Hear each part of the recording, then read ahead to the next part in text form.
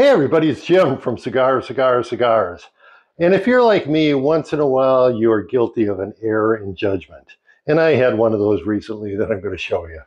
So I got an email, I don't know, a little over a week ago from one of the major US online cigar sellers. And they had something they were selling called a bag of crapola. And we can see where this is going. And I'll just read you some of the highlights. Now, keep in mind, these are the things that attracted me to this, this purchase. 18 premium cigars plus a steaming pile of 10 other items. Some say it's more FU than FUN. This is a quote from the email. I tallied up the retail prices and it's an absurd $351, period. The very next sentence. Not sure about that, but it's worth every bit of $150. And the final sentence of the email said, let the buyer's remorse begin.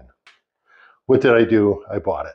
So now we're going to see what's in this box of crapola. Here we go. I don't know. I have not previewed it, so I'm going to be as surprised as you. Oh, it's a flag, and I, I only have maybe a half dozen of those already from that particular seller. Hey, it's a pair of, ooh, these are actually nice. Gold, gold toe socks. They have a little, little lobster they have lobsters on them. You know, I can always use a pair of socks. This, these look like just striped. So two pair of gold gold toe socks. That's not bad. Get rid of some padding here. It's for your trailer hitch. It's a they call it a, a pin whiz. Now the company that I got this box from is Cigar Page, and they actually have an outdoor uh, product uh, division as well under a different name. I don't recall what it is. But that's kind of interesting. Oh man, I always need these. Who doesn't, right? So, so far so good. I'm not, I'm not unhappy. A very tiny folding knife.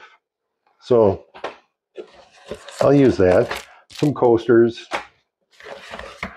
Those are cigar page coasters. Again, I will add those to my collection. This is a plain cardboard box we're getting some cigars here, so be patient. Oh, this is nice. Look at that, an ashtray. Nice little ashtray. A little on the small side, but cool. Here's another knife. This is a fillet knife. And we're getting close to the jackpot here. Uh, car window sticker. It says something on it. And, oh, Rocky Patel, what could this possibly be? Huh? It's a Rocky Patel drinking cup. Who would have thunk it? It says Rocky Patel on it. Okay.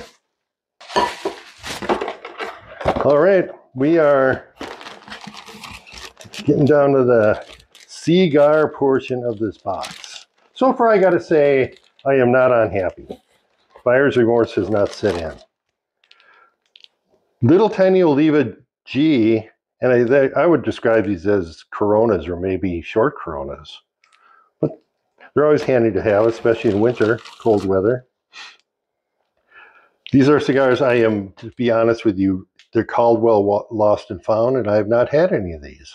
So, something else that's worthwhile.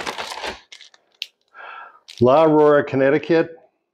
I don't go out and buy Connecticut's for myself very often. So when I do get them on a promotional basis or something like this, I'll end up I'll end up smoking them. La Auroras are pretty good too. Not a bad deal. Last but not least, these are Graycliff, and I'm not sure what the particular uh, brand of them is. It doesn't say on the back here, but uh, again, Graycliffs are not cigars I would go out and buy on my own, so it might be interesting to try them. All right, that is an empty box of crapola right there. So I'm going to say not bad. You know, it's stuff I probably wouldn't have gone out and bought on my own, to be honest with you. But I'll use a lot of this stuff, so I'm going to give it. I'm going to give it thumbs up for a pretty good deal. This is a seasonal thing. I don't think it's available right now, but it, they claim that they do it twice a year. So keep an eye out for that on Cigar Page. I'll see you next time from Cigar, Cigar, Cigars.